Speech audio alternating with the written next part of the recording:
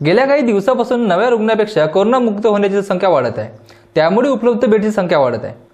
सध्या जिल्ह्यात नऊशे अठ्ठ्याहत्तर बेड उपलब्ध आहे.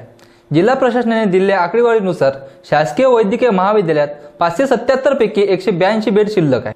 सात डी सी एस सीमध्ये तीनशे त्र्याऐंशी पैकी दोनशे एकोणीस बेड शिल्लक आहे. आणि तीनशे खासगी रुग्णालयात एक हजार नऊशे पैकी तीनशे सत्याऐंशी बेड शिल्लक आहे. तर जिल्ह्यात अडतीस सी सी सीमध्ये एकूण दोन हजार नऊशे त्रेसष्ट बेडपैकी तेराशे तेरा उपयोगात आणि सोळाशे पन्नास बेड शिल्लक असल्याची माहिती प्रशासनाने कळवली आहे.